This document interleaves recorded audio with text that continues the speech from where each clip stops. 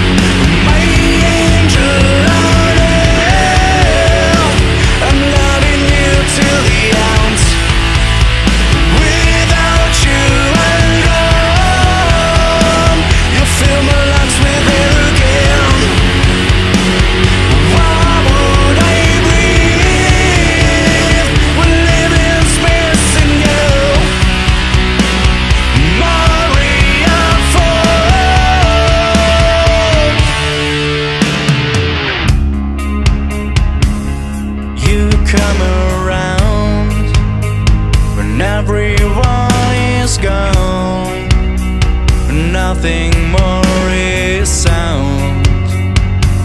Selfless and plain